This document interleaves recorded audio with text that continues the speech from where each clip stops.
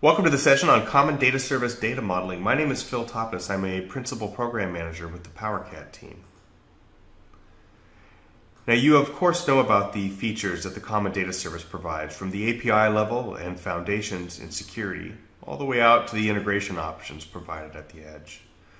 In this session we're going to focus on the center band, focusing on data, and the elements that make a successful data model in CDS and how data modeling in CDS differs from what you might have done in SQL Server or Oracle or a more fundamental data source. I'm going to focus on four things. One, how to reuse the common data model and the importance and value that will give you. And then how to extend those through fields and additional relationships or when you need to add your own custom entities the features of the common data service that you can use there. And then I'll talk about how you can use calculated and roll-up fields to summarize your data, saving work from plugins or flows. And also how to use the activity entity, a special type of entity for capturing real-life interactions.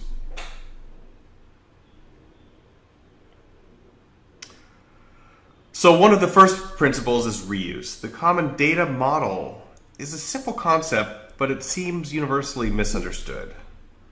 The Common Data Model is just that. It's a data model that has been built in collaboration with other companies and industries to provide a foundation for commonly used and stored data.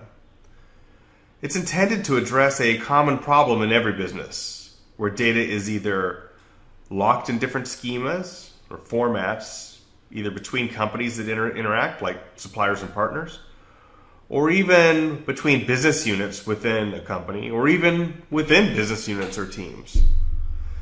And the net impact of this is that analysis and integration requires additional mapping and aggregation, translation. And this is troublesome just for doing all sorts of integration work, but it especially impedes actions that need to be done in real time. And so slows down or minimizes the benefits that you can get from AI and machine learning.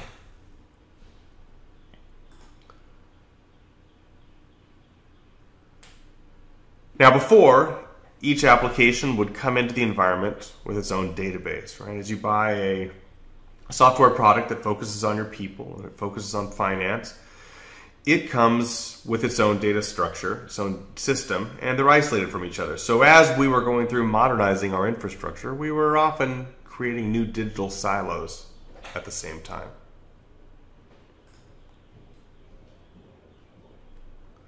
So, as each application needs to be connected to its data, and often as the organization grows, connections into other related data come into play as well. And the end result is an integration level, an integration layer that requires constant maintenance, adds complexities to the applications, and reduces the organization's overall visibility into its operation. And so the goal behind the common data model was to provide a shared data model where application connections can be simplified, data visibility is universal across the data source, redundancy is eliminated as much as possible while still retaining security for the records and entities themselves. And app developers and back-end integrators can operate independently. Although it's still, of course, important to uh, communicate about data governance overall. Now, you've probably already interacted with the common data model because you've used the account entity or the contact entity or some of these other opportunities from sales and service and so on. But the common data model extends these to get more specialized across application and industry specific uses. And Microsoft's own applications, like Customer Insights, are already built upon these standard entities. Now, you could leverage the work that Microsoft is doing across industries and use the Common Data Model as a foundation for your own application. It's a big focus for the company right now, and you can benefit from the results of all this work.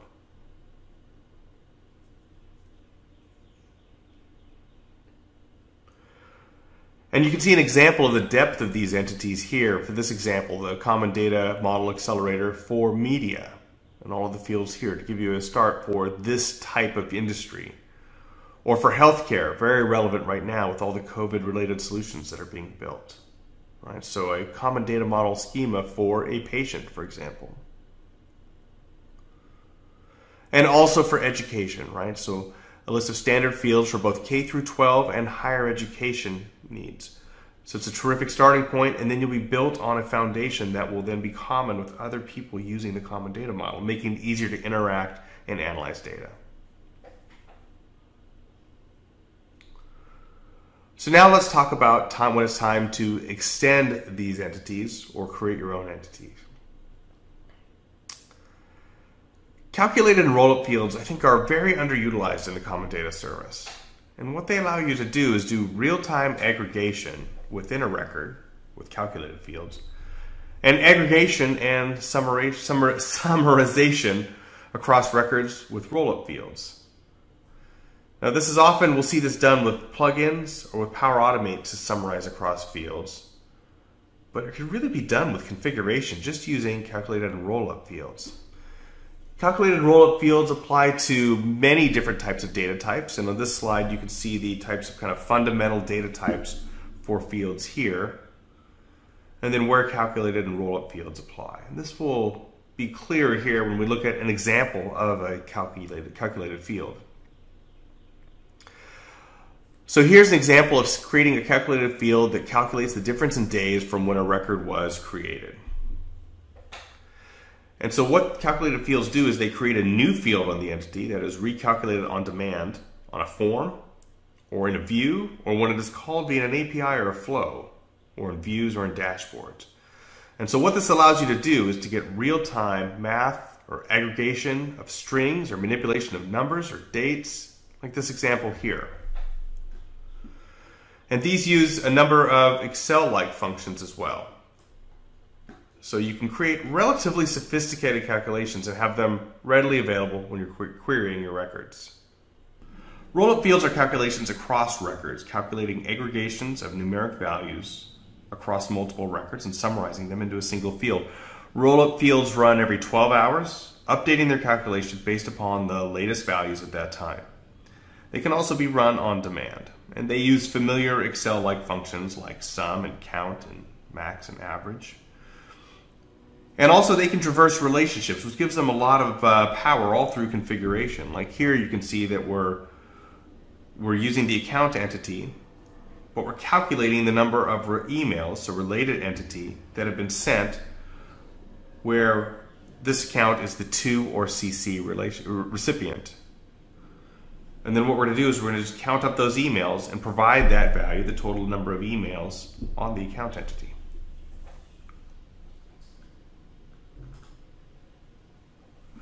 Now, moving on to relationships, one of the many advantages of deploying your apps data on the common data service versus SharePoint or Excel is the ability to use real data relationships. Now, SharePoint lists can, are often used related to each other, but the relationship isn't enforced by the data source itself. In the common data service, there are two types of relationships, one to N, or sometimes N to one, same type of relationship, depending on how it's viewed, and N to N, or many to many.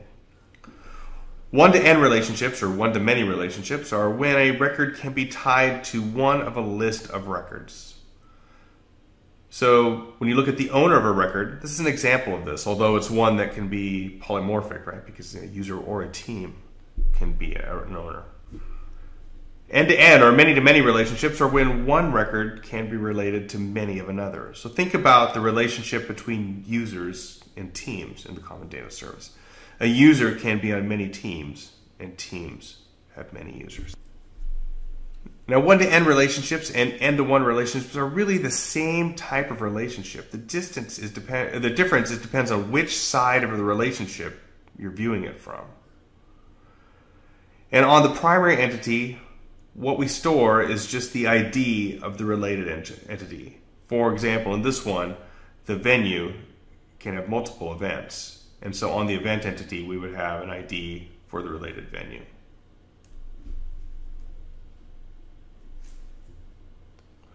And you can see this as you look in the actual system here. So this relationship company name looks like a one-to-many on the contact and a many-to-one on the account. It's the same core relationship with the same relationship name.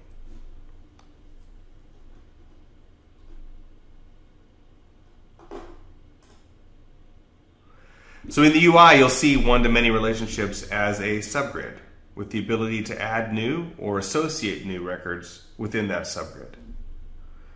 And looking at it from the other side, it'll actually look like a lookup, where you can look up the related entity and assign it to the single record.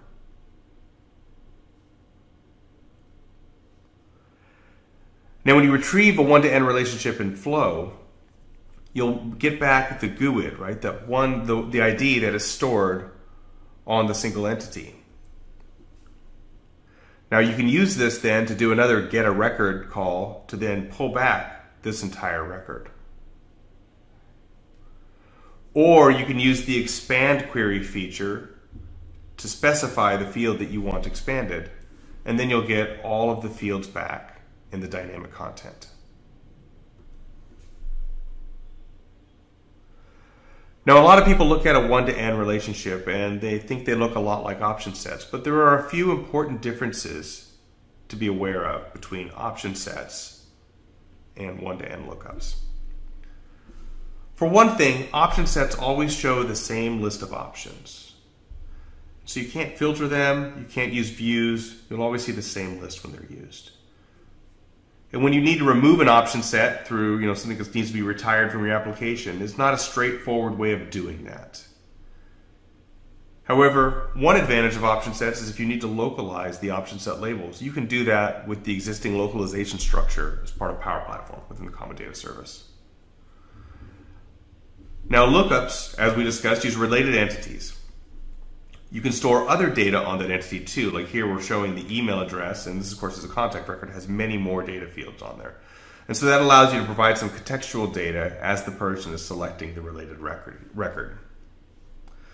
And of course, you can use these. Uh, you can use uh, entity, or you can use views to filter these out, and you also get type ahead, which will help then kind of select uh, the available records that match what the person's typing.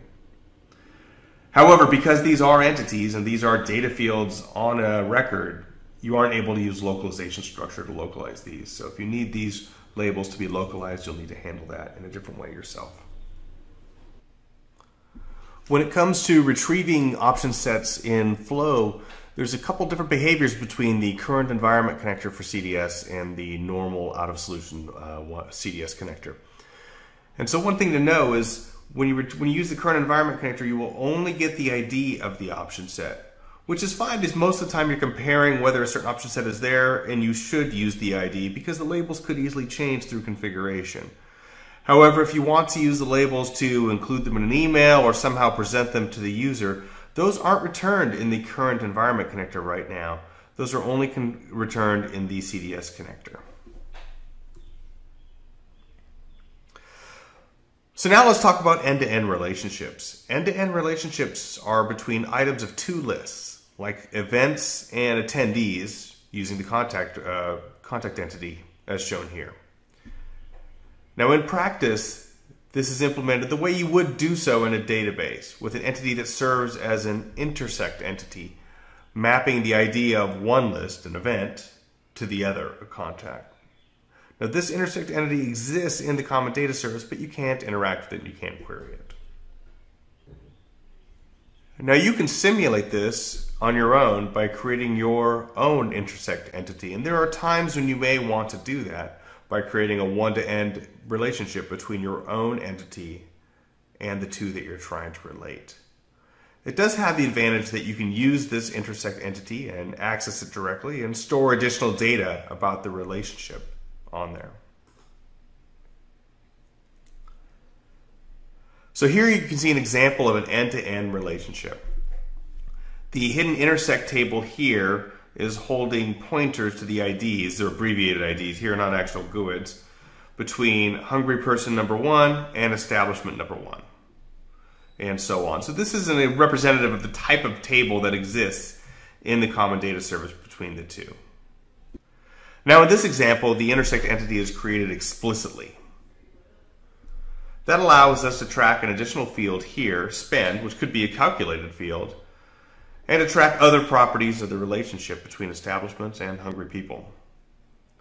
Now, keep in mind though, when you create a structure like this, there isn't a direct relationship as far as common data service is concerned between hungry people and establishments. You need to manage that in your application. And also, some UI components, like the model driven subgrids, they won't recognize this because you have a custom intersect entity. N to N lookups bear similarities to multi select option sets, but there are differences in the functionality that kind of mirrors what we saw between option sets and one to one, one to N relationships. One important thing to know is that in multi select option sets, the values are stored on the record as an array of option set IDs. It makes them much harder to work with if you need to do analysis on the selected options. But because multi-select options are option sets, they benefit from the same localization benefits that we talked about before, but the same difficulties with trying to remove an entry in a thorough way. Now looking at retrieving multi-select option sets in Flow, there's also differences between the CDS current environment connector and the regular or the out of solution common data service connector. And the big difference here is you actually get the array of option sets back in the, in the current environment connector and they are not returned in the other connector. So if you're going to work with multi-select option sets, you will want to use the current environment uh, connector, which will require you to be working in a solution, which is a good practice anyways. But just know that you will get the values back, but they'll be an array, and then you'll need to manipulate them further in your flow. Or if you want to get the actual labels that correspond to those values, you'll need to then use a flow to map them to the actual labels in the string map table or the string map entity, which will then correspond to each one of those entities and the localized label that it represents. One of the benefits of relationships in the Common Data Service is you can control how related entities interact during key events like a deletion, sharing, reparenting, changing the owner, assignment, and unshare. And you have several choices. The first one is referential, remove link, which means that they basically are independent. Actions taken on one side of the relationship will not affect the other. There's also referential restrict delete, which means actions taken on the parent record will not be applied to the child record but while the parent, but the parent record cannot be deleted while there is a child record related to it. And then there's a type called parental, which means that any action taken on the record of the parent is also cascaded down to the child records. And you can customize these too by creating your own custom type of behavior and then choosing how you want each one of those five properties to respond during one of those events. Another less known feature is the ability to map fields between related entities. You can map attributes between entities that have a mappable entity relationship. And this lets you set default values for a record that is created in the context of another record. You can map entity fields for a one to, one to n entity relationship, and certain items from the primary record will be copied into the new related entity to set default values. And you've seen this if you've gone into an account and created a contact within the context of the account, you've seen the account's address get copied into the contact record.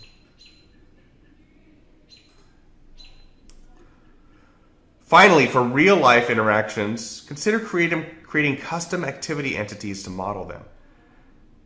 Activities are meant to represent real life interactions and they typically have a date and time element. All activities will share some common fields because they all resolve the activity pointer table. And here we can see some typical out of the box activities, appointment, email, phone call, task, and even donation now. These are automatically all aggregated on the timeline control. And as you add custom entities, they'll be shown on the timeline control as well. And they can also be used on views that are using the calendar control so that you can see them laid out in a calendar. To use an activity entity, when you're creating a new entity, you choose you set activity entity uh, under create entity type. And an example of how this can be used, I was on a project building a system for probation officers. And we created custom activities for drug screenings and home visits two types of activities that probation officers would do in real life to track for the people they monitor. So I hope you found some new features of the Common Data Service that you haven't yet leveraged. The goal of this session was to help you use these features in the way that you can focus on building your application and even do even less automation, even less no-code automation, so that you can focus on the other features your customers need.